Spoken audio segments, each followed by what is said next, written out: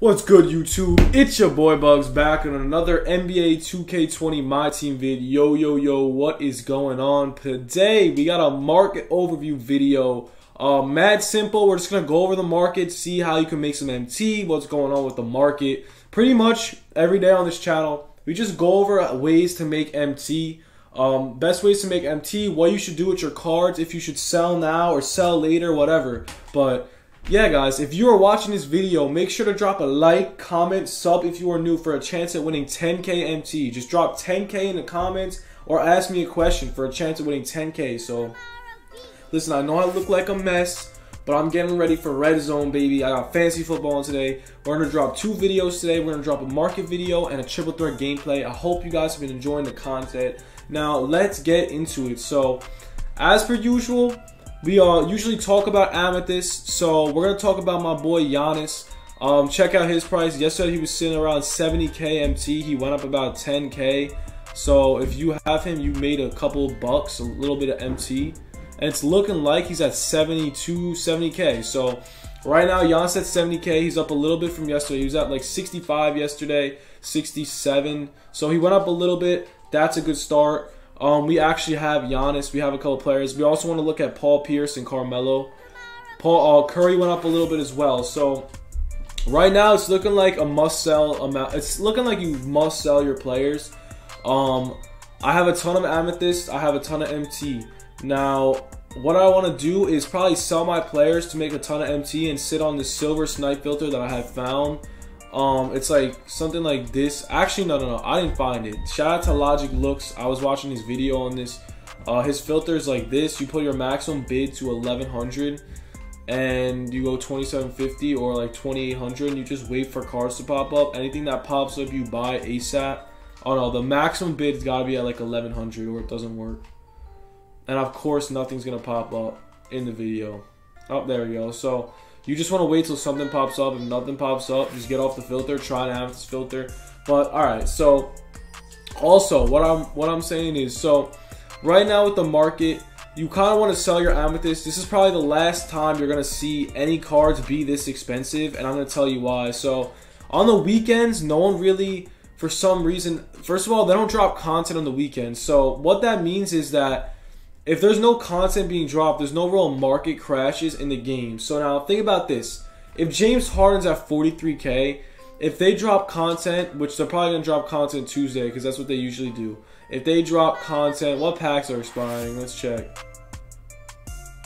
Um, so it looks like they got rid of the multi-dimensional packs, so those are out of packs. I, I mean, out of the store, and I didn't even know that. So Let's see. They might drop content Thursday or they're going to drop content Friday. When they do, what happens to the market is it pretty much dies out. And what you have to do is um, try to sell your cards before anything drops. So right now, I'm probably going to go ahead and sell my whole team. I'm going to pick up my MT, snipe, play some domination, just chill and grind. And right now would be the best time to do that because there's packs out. First of all, in my opinion, I think the packs stink. If like, in my opinion, the packs are awful. So you could sell your amethyst now. You don't really have to worry about the future unless you want to wait a little more, hoping that the pet they don't drop any more packs. But that's also a risk. So you really kind of just want to sell now. Um, we're gonna go over. We gotta go over Durant. We gotta go over Paul George because I know all their prices off the top of my head. Pretty much in market overview, you just gotta really pick up cards for the low and just wait and sell them later on. So Right now, yo, if you got KD, I will go ahead and sell. He's like max. He's at his like max price. Um, 65k for Amethyst. You have to realize that that's gonna go down. So many players are gonna pull these cards, no matter what. Like, you get them out of free packs? Like, they're still in packs. These Amethysts. If anything drops, they their value plummets so bad. I'm telling you right now, bro. So let's check out my boy Paul George. He's going 42k, 41k. Yeah, he's just a must sell do you have to think about this? So, Amethyst at 40k, there's no content really out for anyone to pop packs. So, like, you have to realize that any packs that drop just it, it ends up being an automatic market crash. Like, it's guaranteed. Anything that drops is an automatic drop down, market crash, game over. You're taking an L. So, with this being said, like, yeah, I think a lot of people in the game at this point have all these amethysts off the auction.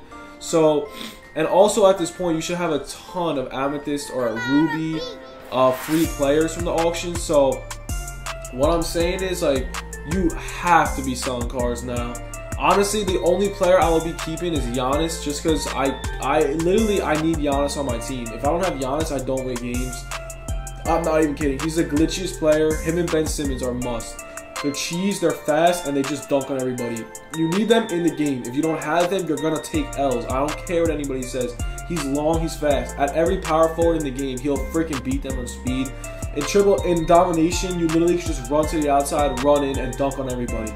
What I also want to talk about is let's check about Carmelo's price, yo. In my video yesterday, he was at 100k over. He was not at a buyout. I believe he's at a buyout now, which is not good news uh, if you have him still. I sold mine. Yes, so he's still at 100k buyout. Now, this is very not, it's not good. Yes, there's only five, six up here, but if you could maybe pick up one for 90 and wait a little bit, I really do believe that he will drop. I mean, he will go up a lot because he's not in packs anymore. Also, I want to talk about the multi-dimensional players. They're not in packs anymore. So what that means is if you have the multi-dimensional players, what happens to their price? It rises a lot. I mean a lot. So let's check out Jeff Hornacek because he is a diamond compatible player, evolution player. I want to check out his price. I want to see if he went up a lot. If he went up a lot, I would guarantee you guys you're going to make MT if you bought him. It looks like he's a literally over 100k, which is interesting. Wow, so Jeff Hornacek's now over 100k. He was about 80 to 70k not too long ago. Same with MJ. MJ's way over 100k. So they went up a ton. So now what I'm realizing is new content drops.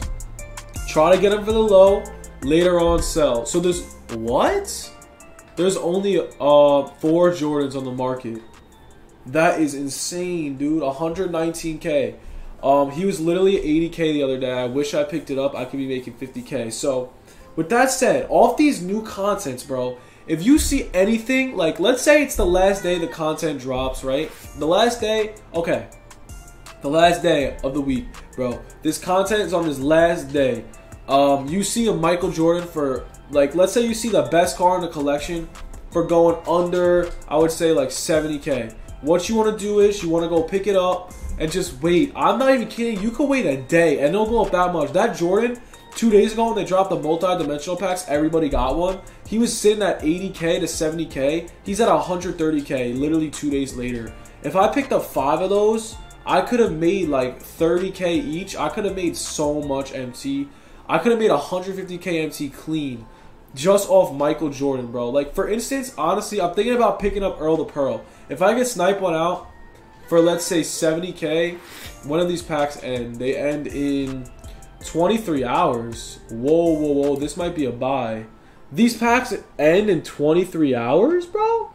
So, if they end in 23 hours, that means Earl the Pearl is going to be a must buy. So, I will definitely be buying Earl the Pearl.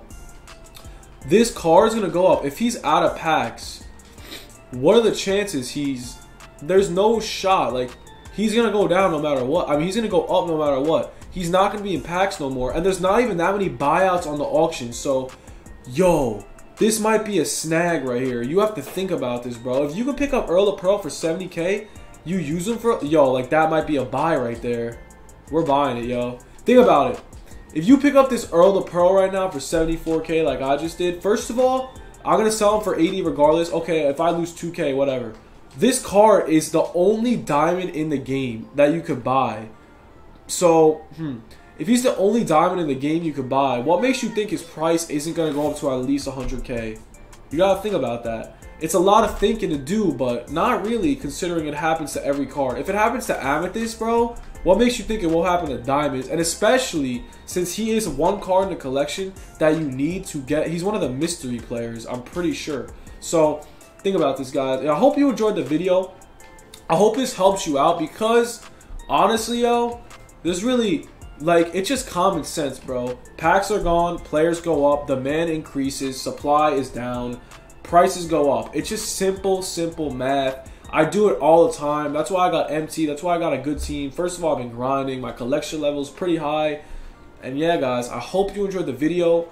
Um, we're gonna be grinding domination, bro. We're almost done with historic. I I grinded 13 games yesterday. It was a pain, but yeah, man, we finally got my rewards to amethyst level. Hopefully, we'll get into the diamonds by the end of the week, and we'll pick up some fire. Uh, my first diamond player is gonna be Drazen, bro.